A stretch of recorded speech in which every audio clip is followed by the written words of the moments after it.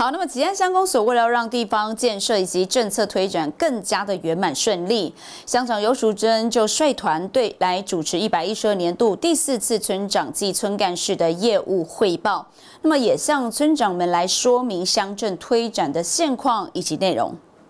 吉安乡公所召开一二年度第四次村长暨村干事业务汇报，由乡长尤淑珍主持，协同主任秘书及各科室主管，会同乡内所有村长、村干事，共同针对乡镇各项业务推展与地方建设、社会福利、环境美化、艺文发展等进行互动交流，并将无法立即解决者分类权责立案呈报，并记录成案，方便日后追踪处理。针对于上一次的提案三十九案，我们一一的说明在。中间执行上面的一些困难瓶颈以及完成率，也针对于这一次汇报里面的三十四案，我们要开启呢续服务圆满的这样的一个职责，在我们吉安乡境内的所属，我们完成了九十趴村长建议的所有的内容跟服务，那另外的这个所属没完成的，大致于来自于。整个中央的所属，还有呢县府的一个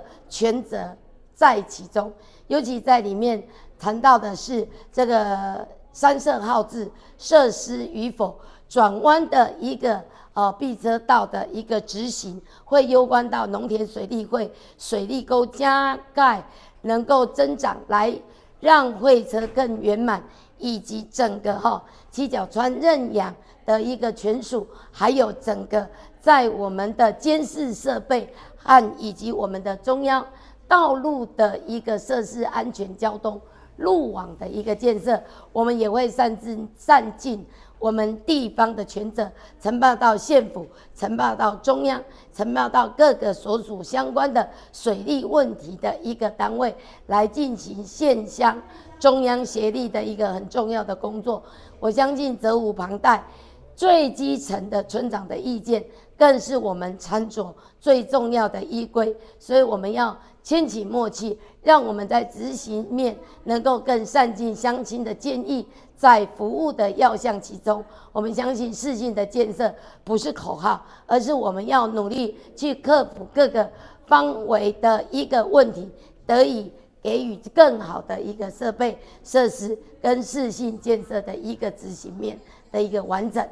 今年度最后一场汇报，尤淑珍表示，针对上一次三十九案的提案，一一说明在执行的瓶颈和完成率，也针对这次汇报提出三十四案的续服务和权责，完成村长建议的九成内容和服务，期盼未来持续携手共构民意需求服务，搭建基层沟通桥梁，解决民众问题，达标各项乡镇建设任务，为乡亲再造福祉。记者蒋方燕、吉安乡报道。